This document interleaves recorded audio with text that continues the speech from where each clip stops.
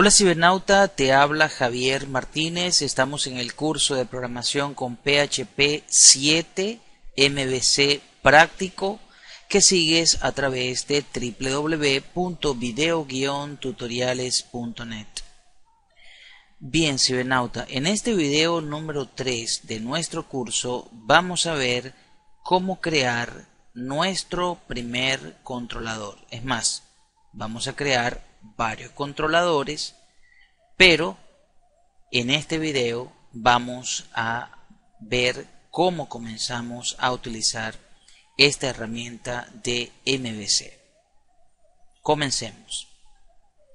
Bien, en primer lugar, aquí dejamos nuestro archivo en el video pasado en el index. Vamos a quitarle estos tags de aquí y en la parte aquí de index donde le colocamos hola mundo de este PHP 7 con propósitos de prueba vamos a comenzar a colocar las instrucciones que van a llevar nuestro proyecto. Por ejemplo aquí donde vamos a comenzar a evaluar si existe set. Ok aquí lo tenemos, una llamada a una vista.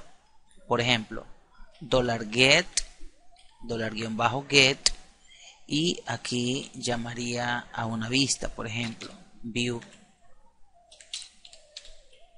¿Sí?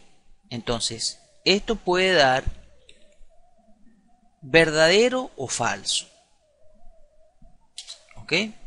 Entonces, vamos a evaluar en primer lugar qué pasaría si nos da falso. Por ejemplo, else. Si da falso, vamos a hacer lo siguiente. Vamos a hacer una llamada con el include hacia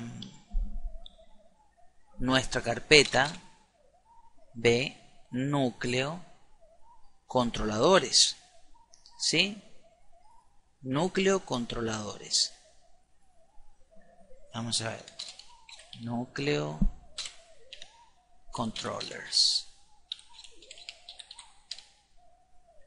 Y dentro de núcleo controllers nosotros vamos a tener un archivito que vamos a llamar index controller php todos los controladores van a tener esta nomenclatura, ¿ok? Van a terminar siempre en controller.php.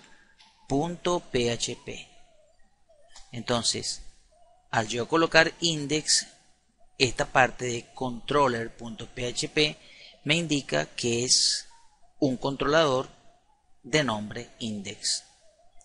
Muy bien. Como él yo no lo tengo, es decir, si yo ejecuto esto tal cual lo tengo acá, él me va a dar un error porque no encuentra en la línea número 6, él no encuentra aquí a un index controller. Eso es lo que me está diciendo aquí. ¿Mm? Index controller. Bueno, entonces vamos a hacer lo siguiente. Nos venimos aquí en la parte de controllers y creamos un nuevo archivo. ¿Cómo lo vamos a llamar? Index Controller. PHP. Entonces, ¿qué voy a colocar aquí dentro de mi indexcontroller.php? Bueno, cualquier mensaje puedo indicarle que es eh, eh, este es mi controlador index. Así simplemente este mensaje. Veamos si él hace ahora aquí la redirección. Aquí lo vemos. Este es mi controlador index. Él me muestra el contenido de lo que tiene el controlador. ¿Ok? Si yo coloco una instrucción, él me va a mostrar obviamente la impresión de esa instrucción. Ahora, ¿qué pasa aquí, cibernauta? Ve, si nosotros evaluamos que existe en realidad una vista, ¿ok? Entonces, si esto es cierto, si el archivo existe, entonces colocamos así la evaluación. If files exists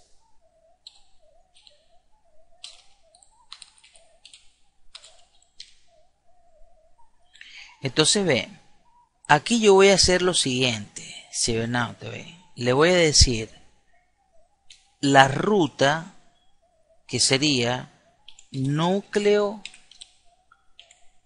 slash controllers ¿sí? entonces ¿qué hago aquí cibernauta B? necesito colocarle el nombre del archivo pero como yo necesito que también este nombre del archivo sea a su vez forzado a letras minúsculas, entonces utilizo mi función str to lower. Aquí lo tengo, ¿eh? str to lower. ¿Y qué voy a pasar aquí? Bueno, aquí voy a pasar mi $get view dollar $get view. ¿Ok? Eso es lo que voy a pasar aquí adentro. Dollar get view. Ahora ve, para no enredarnos aquí. Aquí tenemos dos paréntesis para cerrar. ¿Sí? Entonces, ve, tenemos tres que abren y cuatro que cierran. Entonces, luego que yo coloque mi str lower, ¿ok? Yo le tengo que indicar punto y voy a seguir concatenando. En esta ocasión voy a concatenar con la palabra controller.php y aquí si coloco mi punto y coma. Ahora ve, ¿Por qué yo hago esto, cibernauta, aquí? Controller.php. Aquí no es files exist, sino es file exist, ¿ok? No es con S, sino con sin la S, sin plural. ¿Por qué añado yo aquí controller? Porque le estoy indicando, ¿sí? le estoy indicando si existe en realidad un archivo, suponte que ese archivo se llame cliente, eso es lo que va aquí. Sería entonces el archivo. Suponte que se llame cliente, entonces sería cliente controller.php. ¿Sí? Entonces, allí no hay inconveniente. ¿Qué voy a colocar a continuación? después que haga esta verificación. Bueno, como es otro if, ¿verdad? Ahora con el file exists tengo otras dos opciones, else y cierro acá. Entonces, aquí yo debería llamar a un controlador. ¿Y a cuál controlador voy a llamar yo aquí dentro de mi include. Dentro de mi include yo voy a llamar comilla, comilla, punto y coma. Yo voy a llamar todo esto que ves aquí adentro. ¿Sí? Todo esto que ves aquí adentro. Vamos a ver. Control C.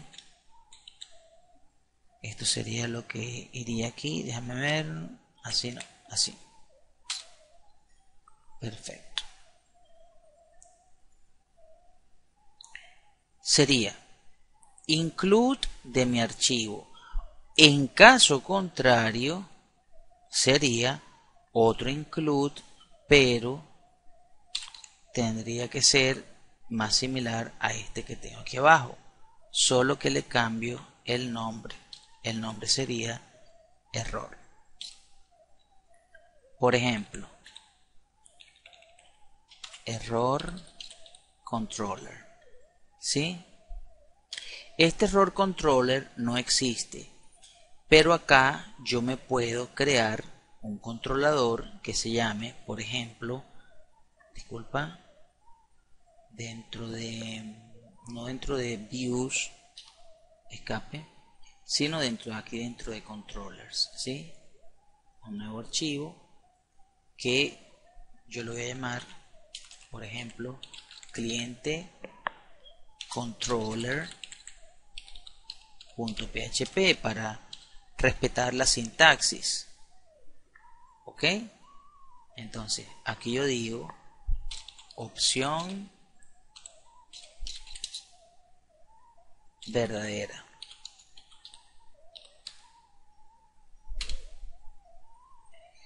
Y en caso contrario, me crearía a error controller php aquí le diría opción falso.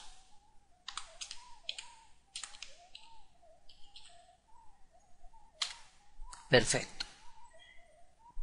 Obviamente cibernauta él aquí lo que está esperando es que nosotros le indiquemos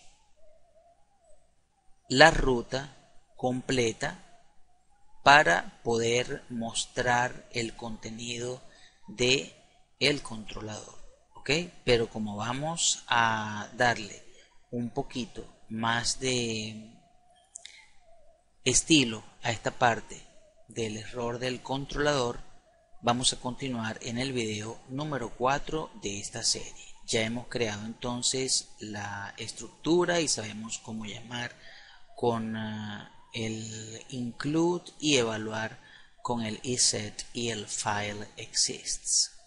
¿Ok? Te mando un abrazo y nos vemos en el video número 4 de esta serie. Hasta entonces.